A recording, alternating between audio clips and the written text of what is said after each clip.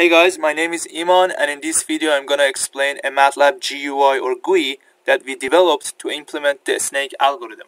If you want to download the, the, the GUI, just check out the following link and make sure that you follow all the instructions. It's available on MathWork homepage.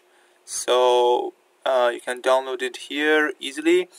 But in order to save time, I already downloaded and unzipped the package.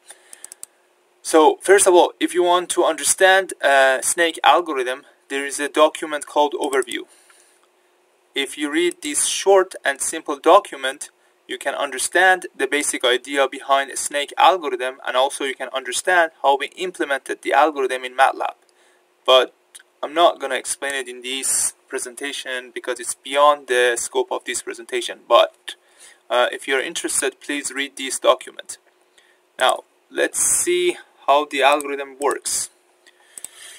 Uh, just type snake and let's choose an image.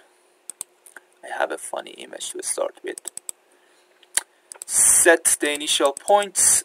Okay, the goal behind the snake algorithm is to find a contour which approximates the boundary of the object as you choose more points, the result is more accurate at the cost of uh, higher computational complexity. But, you know, this is kind of difficult image because there are some edges like this and it's difficult to find the best approximation using limited number of points. So let's choose simpler example. This is a good example set initial points. Again the goal is to find a contour which best approximates the boundary of the object. Start.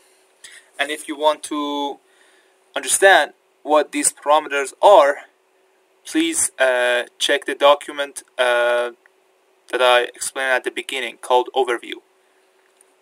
And I guess that's it. Thanks for using our MATLAB GUI and if you have any question please send me an email. Thanks.